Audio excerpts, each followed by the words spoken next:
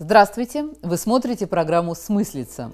Сегодня тема Жизненный цикл модного слова. Дело в том, что сначала новое модное слово используют те, кто хочет выделиться, показать, что он продвинутый. Затем оно приедается, но перед умиранием позволяет все тем же активно использующим новинки пользователям языка еще раз блеснуть с его помощью.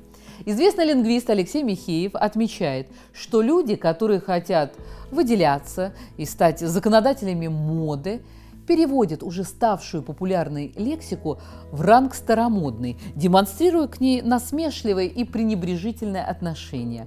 Популярная еще некогда лексика выходит из моды, и отношение тех, кто претендует на языковую актуальность, к моде вчерашнего дня становится негативным. И, наконец, то, что было модой вчера, становится абсолютно неприемлемым. Поэтому те, кто хочет выделяться, начинают употреблять то же самое слово или словосочетание в измененном виде. Так появилось выражение «все параллельно», было модным. Ну, в значении все равно. Его стали использовать слишком часто, поэтому кто-то самый модный сказал «все перпендикулярно».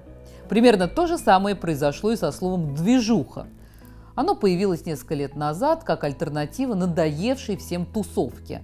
А далее оно довольно активно использовалось в молодежной среде, затем пережила интересную трансформацию, сократилась и поменяла пол, стала движем.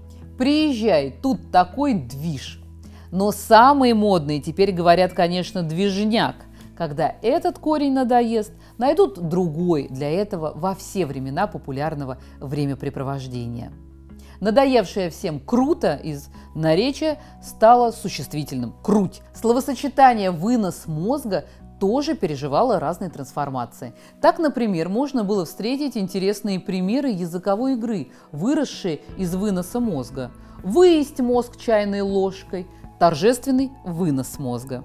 Пусть наша речь будет безупречной. До встречи!